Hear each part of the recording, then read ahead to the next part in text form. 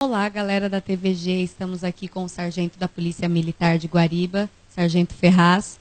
Sargento, qual é o novo procedimento que o morador de Guariba deve fazer ao acionar o 190? Muito bem. É, eu agradeço o apoio da imprensa em estar divulgando esta parte para a população de Guariba.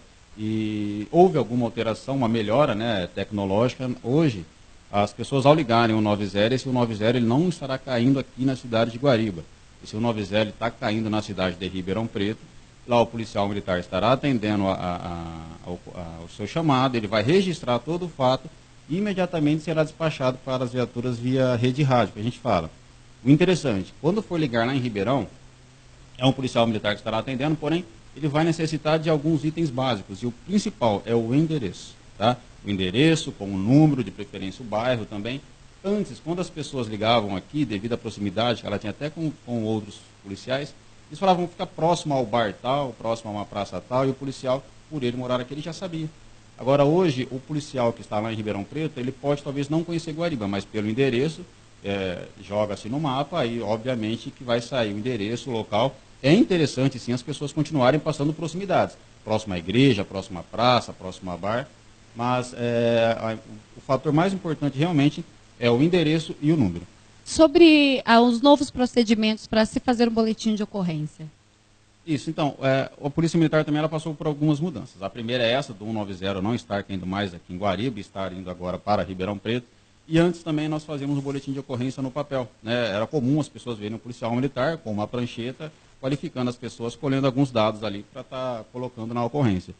A Polícia Militar informatizou, hoje cada viatura tem um tablet, e ao invés da prancheta, vocês vão ver o policial militar com o tablet na mão, e aquele tablet é ali que ele estará registrando a ocorrência. Né? Um, é um registro, que é um registro eletrônico, não se tem mais papel. O importante, após três dias do registro, a três ou cinco dias, a pessoa pode estar entrando no site da Polícia Militar, depois a gente vai estar mostrando para vocês como funciona. A pessoa digita lá o token, vai ser passado um token para ela, que é o número do boletim de ocorrência eletrônico, é, uma senha, ela vai imprimir quantas vezes ela quiser e a hora que ela quiser imprimir esse boletim de ocorrência. Esse procedimento é só para Guariba ou já está valendo para a região também? Jaboticabal, Matão?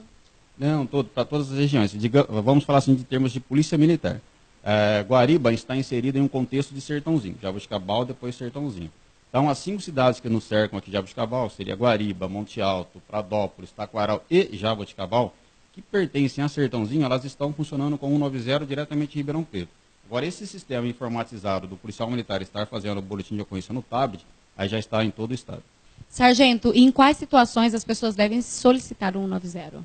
Muito bem. A Polícia Militar está aí para servir e proteger a todos. Né? A gente costuma falar em qualquer situação, mas a gente pede né, que as pessoas utilizem o serviço da Polícia Militar para casos re, é, realmente referente à segurança. Né? Algum fato que acabou de acontecer ou alguma é, está a, acontecendo, a pessoa tem alguma, alguma característica de alguém que acabou de cometer algum crime, liga o 90 para, para que a Polícia Militar possa estar agindo com rapidez. Ou os acidentes de trânsito aí, né, que as pessoas acabam ligando o 90, eu bati o carro, tem alguém machucado, o que eu faço? O policial militar estará tanto orientando, quando tendo a possibilidade, eles também estará é, encaminhando a viatura da Polícia Militar. Porém, é interessante frisar que existem algumas ocorrências que não é necessário a pessoa estar ligando o 90, não é necessário a polícia militar estar indo até o local. São algumas ocorrências que as pessoas podem estar fazendo diretamente pela internet, pelo site da Secretaria de Segurança Pública.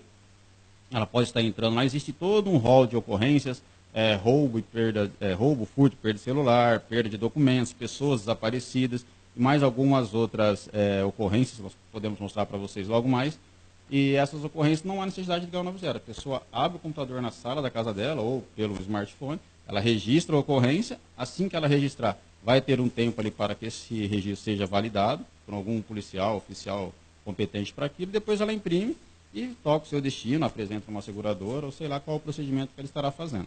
Importante é as pessoas ligarem 190 para passar alguma denúncia, alguém cometeu um crime, alguém que está traficando, algo desse tipo. O importante é passar características cor de pele, cor de camisa, se está vestido é, é, com roupa clara, roupa escura, boné, cabelo, está de carro, bicicleta, cavalo. São todas as, as informações que o policial militar necessita para estar tá localizando a pessoa correta e estar tá tentando evitar um crime.